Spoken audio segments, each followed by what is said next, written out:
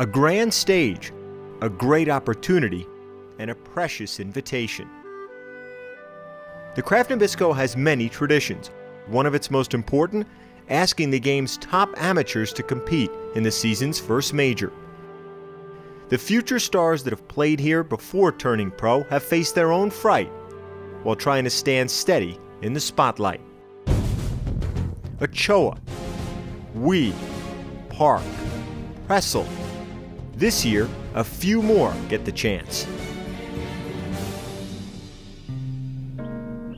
Jennifer Johnson is a 17 year old senior at Desert Christian High School, just a few par fives from Mission Hills. Her first major chance will play out in her own backyard. I think I've been here to watch for the past five, six years since I was really little, so it's kind of a annual thing that we'd come out and watch. Being invited to the Kraft was the biggest moment of my career because I get to play alongside the greatest in the game. While playing close to home carries pressure, Johnson also sees an advantage. I think it's a big plus knowing that all these people are supporting me. I think my school is going to bring out like 20 to 30 people maybe. And so my friends will get to watch me and um, my coaches and my family. So it'll be, it'll be really fun. The youngest member of the field this week is 14 year old Lexi Thompson.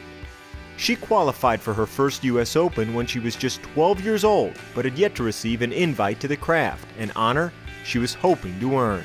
I was in a room with my whole family and we got the envelope and I saw from Kraft Nabisco.